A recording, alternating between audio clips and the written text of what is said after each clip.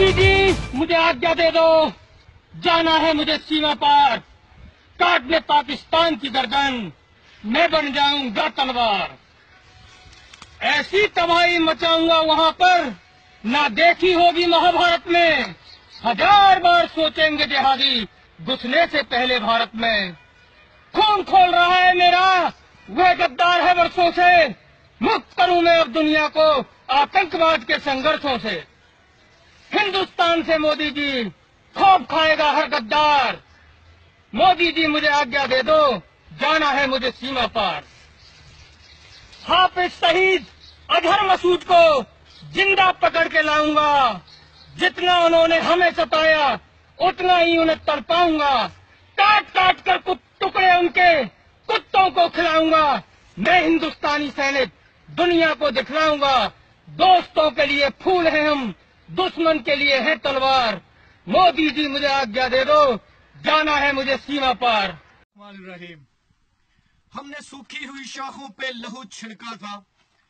ہم نے سوکھی ہوئی شاخوں پہ لہو چھڑکا تھا۔ پھول اگر اب بھی نہ کھلتے تو قیامت کرتے۔ میں نے چند دن پہلے فیس بک پہ ایک چھوٹا سا میسج دیکھا تھا بھارت کے ایک فوجی کا۔ اور مجھے بہت دکھ ہوا اس کی باتیں سن کے۔ میں صرف ایک دو باتیں کہنا چاہوں گا مودی سرکار صاحب سے اور وہ جوان سے۔ ایک تو آپ کو کھانا پوری طرح ملتا نہیں ہے اور آپ چلے پاکستان کے ساتھ مقابلہ کرنے کے لیے اور پاکستان کو نیستہ نبود کرنے کے لیے۔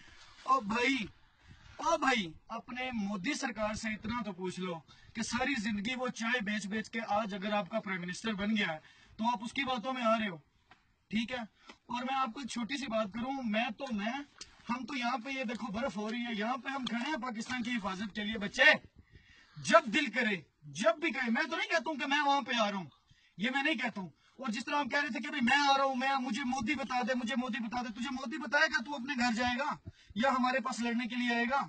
ہمیں بچے اجازت لینے کی ضرورت نہیں پڑے گی۔ جب کبھی ہمارے ملک پہ کسی کی طرف سے آ جانے کی کوئی ہوئی نا، تو ہمیں کسی سے اجازت کی ضرورت نہیں پڑے گی۔